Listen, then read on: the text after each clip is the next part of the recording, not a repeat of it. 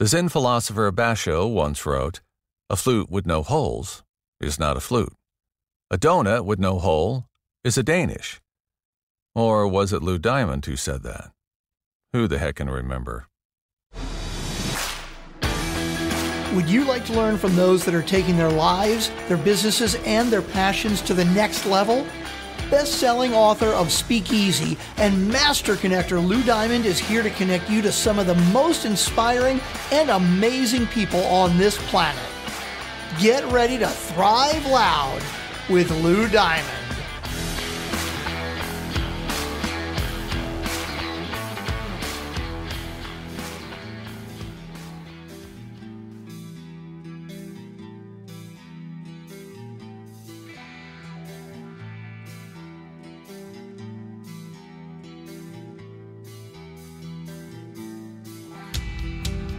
Welcome, everyone, to another spectacular episode of Thrive Loud with Lou Diamond, connecting you to the most inspiring and amazing people that are thriving each and every day. I'm your host, Lou Diamond. Today on Thrive Loud, we have a man with intimate knowledge of franchise systems, years of interaction with franchise candidates before and after they open for business, and personal experience investing in franchise assets. Along with his wonderful wife, this gentleman has a true understanding of what works and what doesn't in franchising. His business, FranChoice, helps you find your freedom, control your future, fuel your vision through franchise ownership. Thrive Loud listeners, uh, we're, we're, can you imagine what we're going to talk about today? Here we are with David Weaver. David, how are you today? I'm great, Lou. Thanks for having me. I'm excited to have you here for so many reasons, which we're going to dive into in our conversations. Uh, mostly because I just kind of drove through a town recently at an event I was at, and it was one of those strip towns where there was probably every single franchise fast food place you could ever go to. And then I went to a conference where uh, basically every single franchise brand was there. So I felt like I was in franchise heaven, if you would. So this is going to be relevant to some of the conversations I'm going to have. Dave, what I want to do is rewind a little bit. I, I don't want to go all the way to the womb. I want to go to the point where kind of this thing that you're focused on now became your gig. Great question. So, um, franchising kind of came into my world when I, I was hired on by a finance company, a non bank lender. Um, this was in mid 2000. Uh, specifically hired me because the owner of that bank wanted to penetrate the franchise space in a non SBA lending capacity, um, which is a bit unique.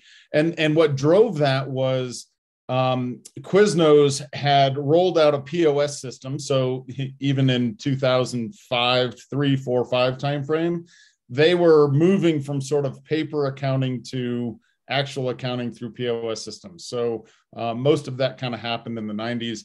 Uh, long story short, they they um, rolled out, you know, required all their franchisees to purchase uh, or lease a POS system, and they had their own book of leases and they didn't know how to do the taxing and and whatnot. Most people don't real that's details. It doesn't matter. So the taxing and leasing scenarios is a is a challenge. So we purchased um, this company purchased the lease portfolio and got the idea we should penetrate the franchise space. Um, they were not executing that strategy very well. I had just come off of working in the family business and turning around a manufacturing facility, made um, robotics parts for the, the auto industry. Um, that was a major challenge. I call that my real life MBA. Um, my thought was, I want to live in Colorado again. And how hard can lending money to small businesses be? And so I took on the challenge, right? Okay. Uh, what I learned was a lot about how banks look at small business lending, which was super fun. Um, and I learned a ton about franchise brands. And, and ultimately, what I started focusing on is what makes some franchises create really happy franchisees with great reviews and, and a wonderful success track record.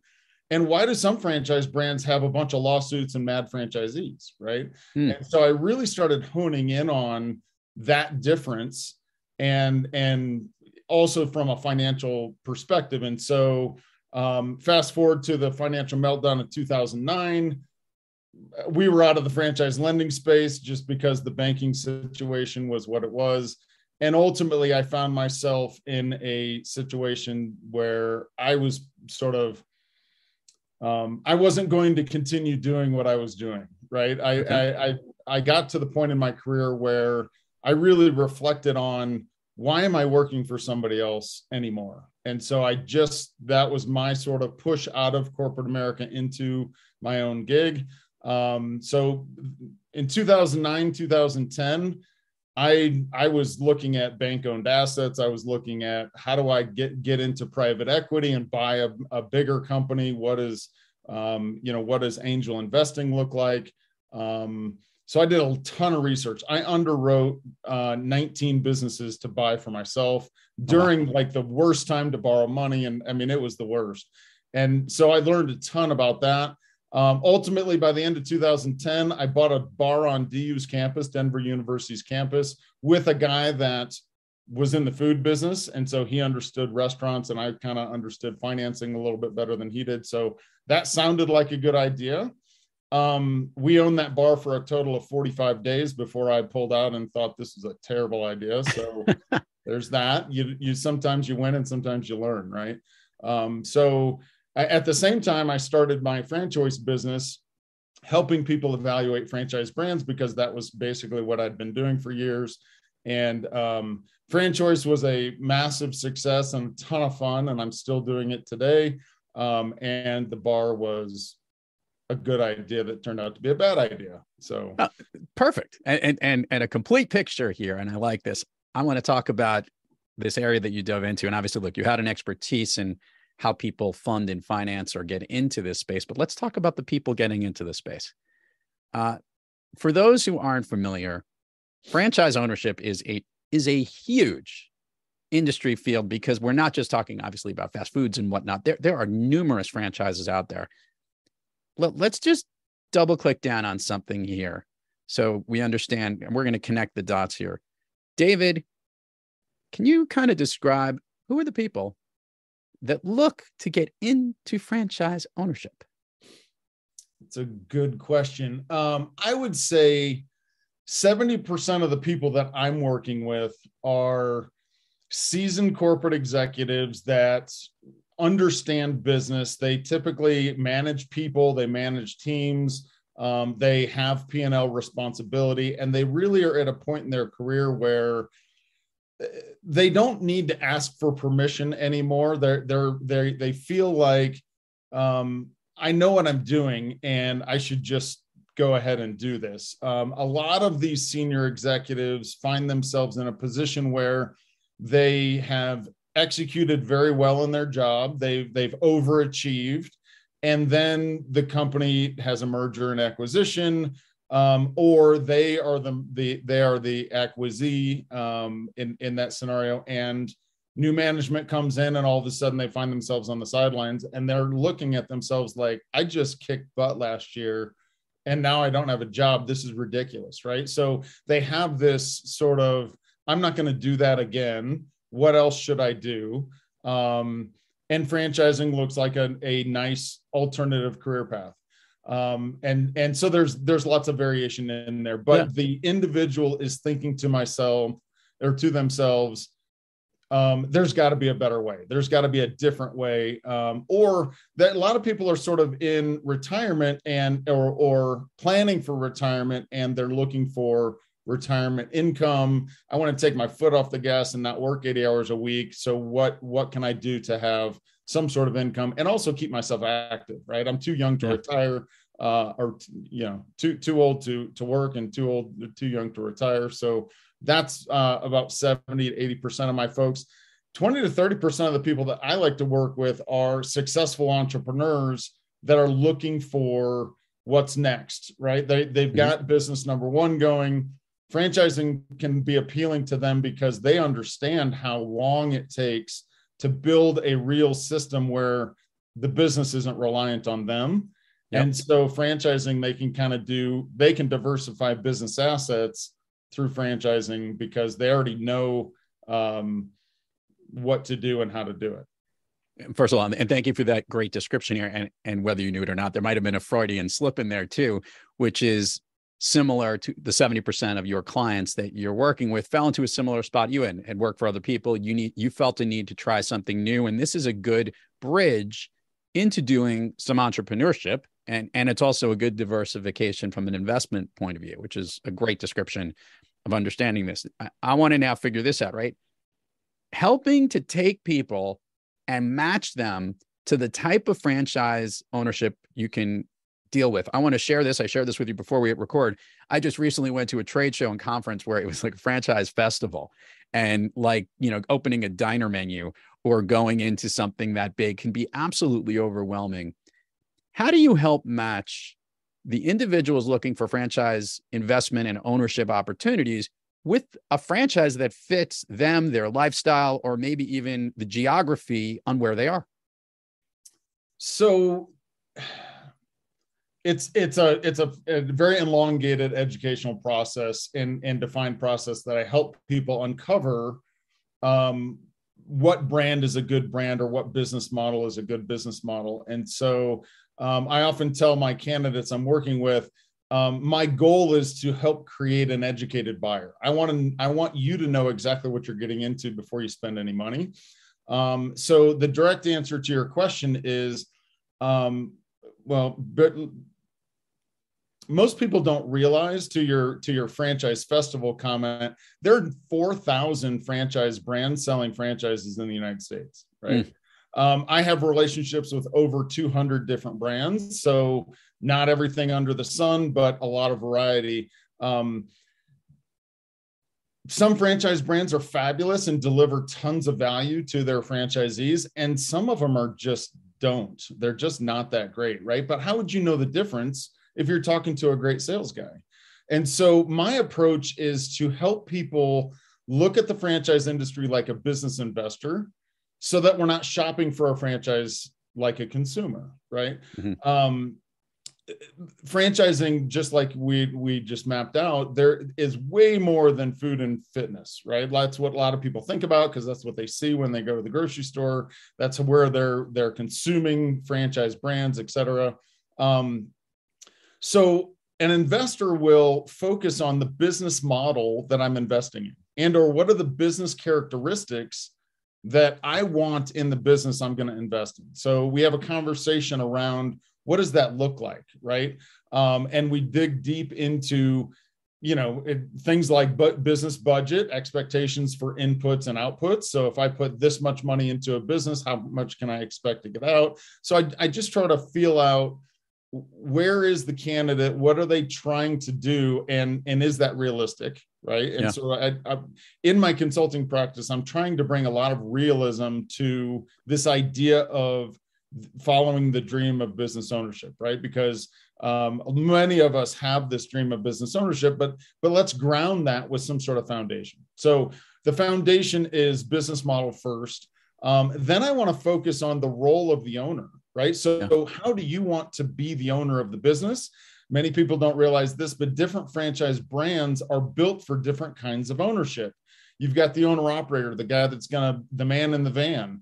This person, there are a lot of great franchises for that particular investor. Um, they don't want to have employees. They just want freedom and flexibility of their schedule. They want to be an expert. They want to do whatever the, the widget thing is. Um, and then on the other hand of the on the other end of the spectrum you've got the semi absentee manager run business model where the owner doesn't plan on being in the store. They're not going to own one subway. They're going to they're planning on owning 15 subways. Right. And so that franchisor looks different right? That there are franchise brands that are built for that executive level owner and and that tends to be the the candidate that that i work with the most frequently. Um, and and there's a couple of things in the middle. So yeah. i help people identify where do they see themselves fitting in the owner's role. And the last thing i want people to focus on is scale right? Do you see yourself owning one or two stores or do you see yourself owning five or 10 stores? Or maybe I want to own three Orange Theory fitnesses and three yoga studios and three massage envies or whatever, right? So, um, why would that make sense? Because we're diversifying, but our core customer base is the same, right? Interesting. That same consumer is spending money on multiple places. Um, so, yes, so, so fascinating and also challenging. And this is where I was going to get at here. Um, let's flip this around, right? There are franchises that are more mature, have been out for many, many years in the franchise model. I, we had a guest recently on the show of a new brand that just came out, and there's new franchisees coming into this. Uh, there obviously risk profiles, and that's the next part I wanted to get to here. Is how do you match those things up, right? Because there could be incredible investment opportunities. And I'm thinking about the 20, 30% of your customers who are more entrepreneurial that might be more akin to looking at newer franchises versus more established and well, uh, more familiarized brands that are out there. Help me understand the juggling act between that because that is always evolving. That's a really good distinction and something that I talk about in my consultation because that that matters, right? So on one hand, we have established brands um, established brands are great because the system is pretty mature. They've evolved. If the franchisor is good, they've evolved that system over time, and and they've got their business model system of doing that business um, pretty honed in. Um, they tend to have pretty corporate senior executive teams, so the the organization is very corporate. So I, I like to point that out to folks. If you're walking away from corporate and all of that corporate politics a mature brand might not be something that you love just right. because of that interaction is going to feel very similar to what you just left. Uh, the biggest determination is location, right? If it's a mature brand, that's positive because the system is solid. That's positive because the marketing and brand recognition is solid. But the biggest determination, in my opinion, for success is similar to real estate location, location, location all the good locations in your market have already been taken because that's why you have good brand recognition in your marketplace right? And so just understand the parameters that that you're facing when you're looking at a mature brand right? Yeah. On the flip side emerging brands are super exciting right? Um, it's it's fun to be a pioneer to bring the next hot concept to market to have great cocktail conversation like yeah i own the next coolest thing right? And a lot of people want that. Um another cool aspect of emerging brands is it's full of a bunch of pioneer minded people and they want this brand to be the next sensation right? And so what i love about emerging brands is the peer network and that collaboration amongst the franchisees is really strong right? Like mm-hmm. hey i tried this does that work? So that's super fun um, and I've and I've been part of that as well. So the downside to an emerging brand is these guys are selling franchises really fast if it's if it's scaling and so the franchisor is really busy just trying to sell franchises get people through training onboarding opening stores really complicated in the beginning right and so the hand holding can be complicated or bumpy. I so the the scenario that i often share with folks because a lot of the people that I'm working with come out of tech or you know they're they're tech salespeople or they've done startups before so they're comfortable they've got that pioneering mindset because they've already worked for a startup. But an emerging brand can feel like a startup right? Because it's bumpy in the beginning. It's not going to be smooth. As long as you're cool with that and you've got your eyes wide open there's lots of pros and cons to both right so do you want the stable tried and true uh, workhorse, or do you want the the fast pony that's going to come out of the gate super hard? You know, it's a little bit more of a bumpy ride. I, I got a question regarding the geography piece, and this has always fascinated me. To your point that most of the good locations in your neighborhood have already been taken. In today's world, it might not necessarily matter where that geography is. And to your point about the being involved with the franchise and you don't actually have to be in the stores and managing it, these things could be in different locations. Is that a growing trend that's happening now where more people are looking at other emerging areas or other franchises that are not in the geography that they're most familiar with?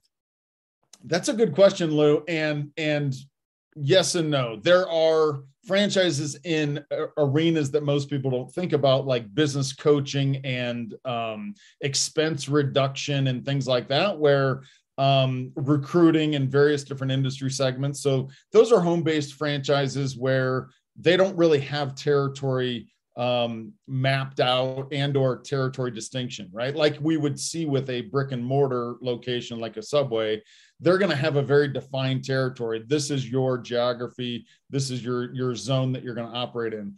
Um, so there are there is that right? I want to work virtually and all this that a lot of that's going on right now with the great resignation and people having to go back to work and they're like yeah but i kind of like working at home and this is working out for me much better and i don't have to commute and all that. So there is that. Um, i think the the the the good in between is a service based company which a lot of people don't think about right? So right. We we think about food and fitness and brick and mortar and that that's franchising but when you open up the idea and this kind of comes to the scalability piece because a service based business scales much differently than a brick and mortar business. You don't have to open five locations.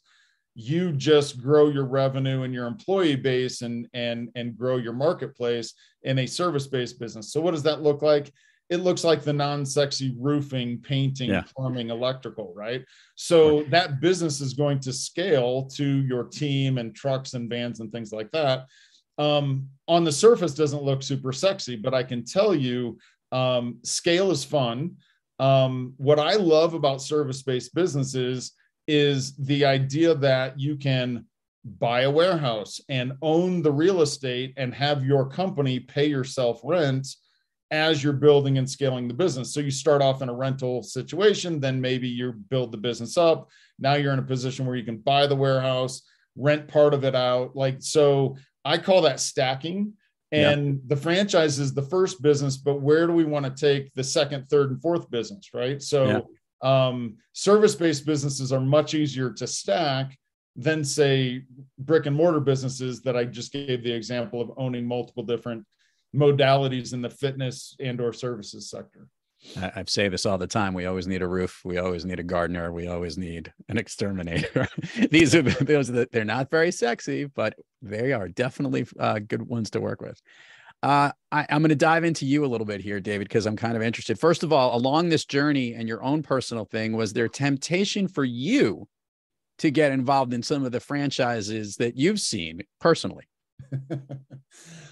um, I'm laughing because it is a chronic temptation and and something that that I feel like everybody that's in my role in in the franchise consulting world um, most of my peers invest in franchises as my wife and I do. And so, yes, I'm constantly evaluating brands, which is actually good because I, I, I, my whole style is experience share. So I'm evaluating franchises for me to invest in at, you know, all the time. And, and so I'm, my, my consulting practice is really helping people evaluate franchise brands. So what are the good questions to ask? And what are, what are the things that you want to be paying attention to?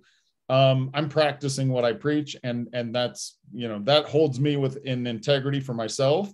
Um, but it's kind of a distraction, right? I mean, let's be honest, running an operating business is much different than running a consulting practice and and that's part of the reason that i enjoy doing that because it exercises a different part of my brain and etc um, but it's a pretty heavy temptation.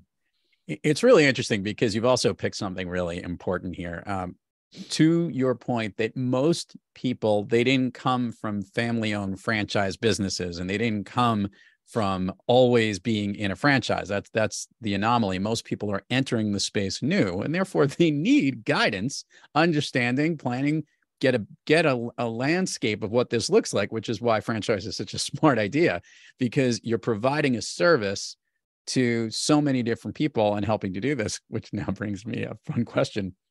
Is FranChoice eventually going to be a franchise oh, that's a great question. Um, FranChoice is actually not a franchise; it's a license agreement. So there are franchise consultants across the country. Um, our competitors are franchises. So there are other consulting groups out there that help people identify franchises. Um, those are franchises, and they do have that territory uh, requirement that is very common in in franchise scenarios. So FranChoice is not a franchise that they they opted early on to be a license agreement. There's differences there Um, I'm happy to answer any questions that people have about that, but I won't go into it. Um, we don't have any limitations in a license agreement. So I work with people all over the country. Um, I have worked a couple of international deals back in the a uh, couple years ago. So Canada, United States uh, is sort of my my wheelhouse, and uh, it's a ton of fun to work with folks. So, so you love this, and I love hearing entrepreneurs on the show who are obviously dealing with lots of different new entrepreneurs, which is fun. And kudos to you, since the financial crisis, this is where you've been focused and you've been thriving on most days. David, we all have those days when when we're not quite kicking on all cylinders and we're a little off our game. David Weaver, when you personally have trouble thriving, what practice do you seek, or maybe which individual do you seek out to get yourself back on the thriving track? That's a great question, and I love the tie-in. So, for me personally, I'm I'm a Colorado guy. I'm I love the mountains. I ski a lot, mountain bike, do all of that. So my happy place is deep in the woods. Um, and as we empty nested last year, the kids all went off to school and the military. So we moved from Denver to the mountains. Um, I live. I've I've got my playground right outside. Um, so that's where I go to decompress and sort of reset my mindset, which is something that I talk to my candidates a lot about. Understanding the entrepreneurial mindset is quite different than, say, the employee mindset in lots of different ways. Um, and and as entrepreneurs, we need resets sometimes because you can. It's easy to get it into your head and that kind of thing.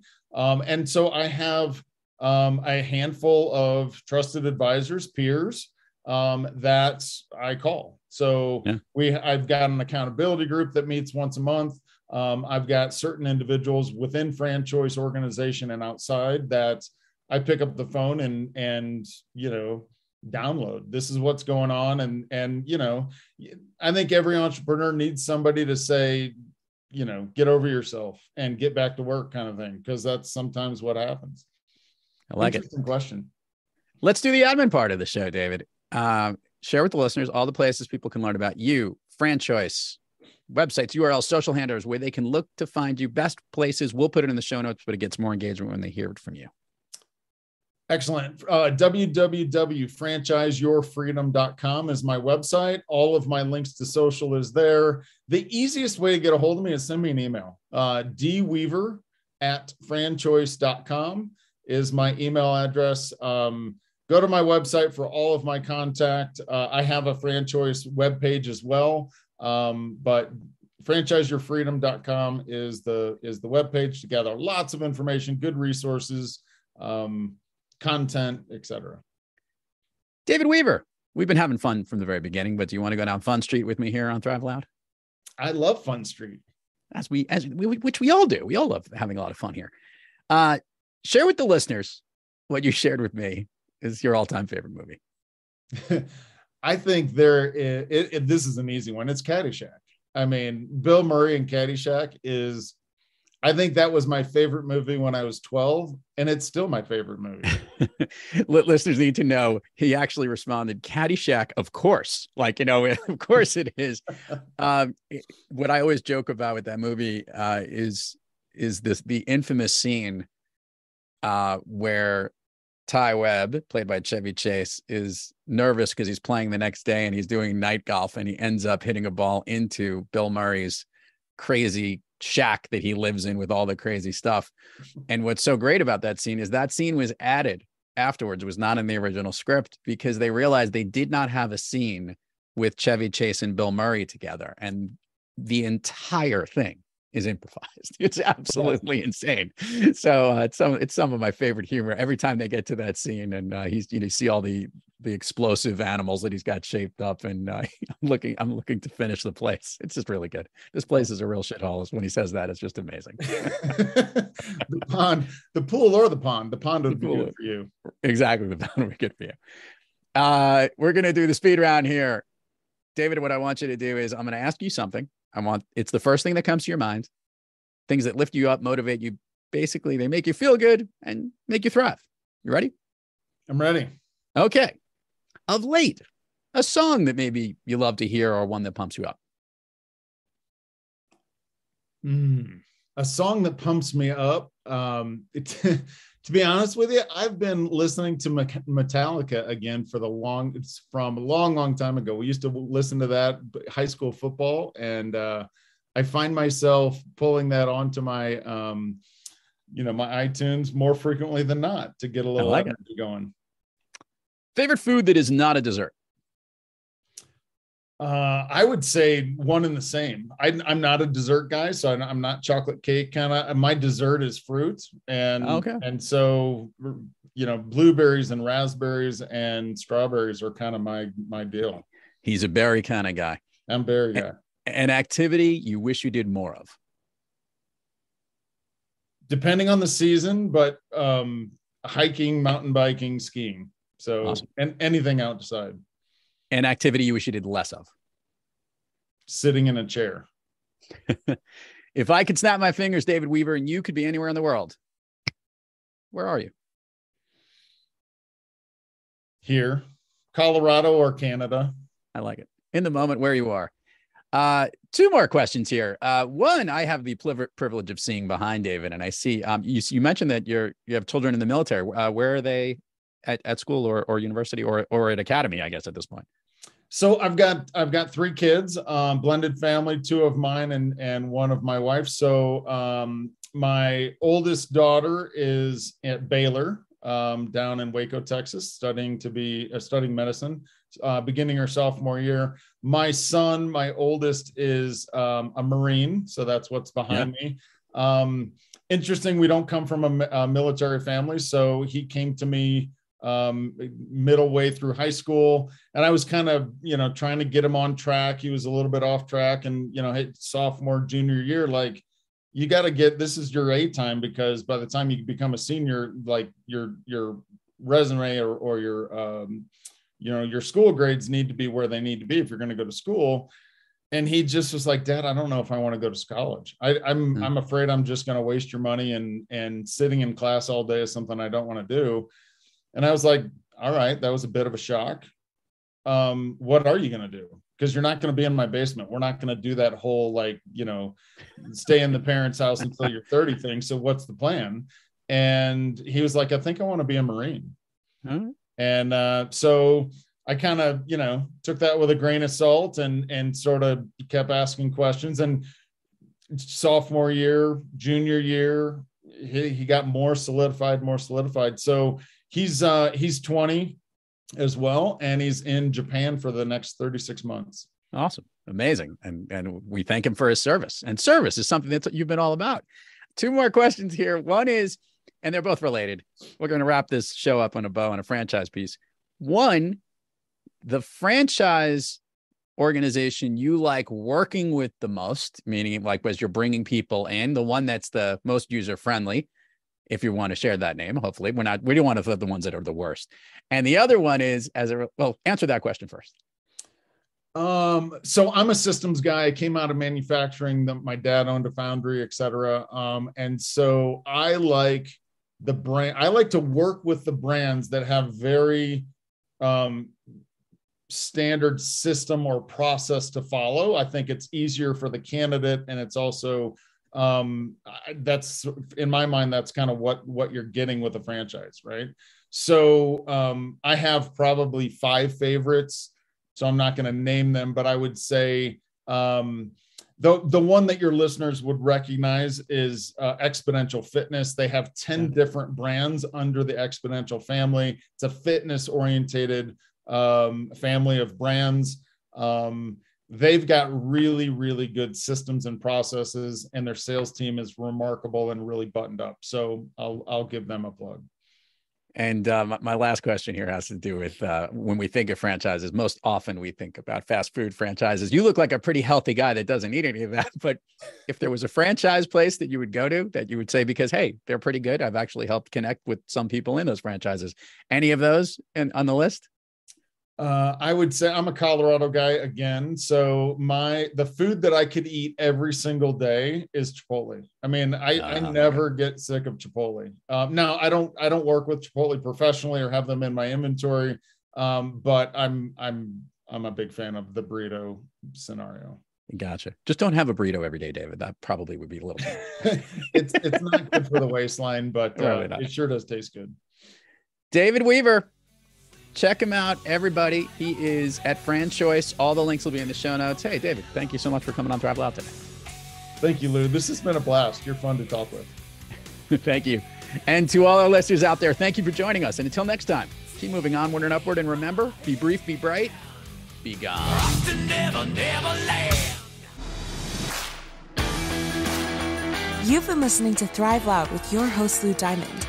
Check us out on the web at thriveloud.com and follow us on Instagram, LinkedIn, Twitter, and Facebook at Thrive Loud. And check us out on the Good Pods app at Thrive Loud, where you can follow, listen, and connect directly to Lou and all of the Thrive Loud episodes. Thanks for listening.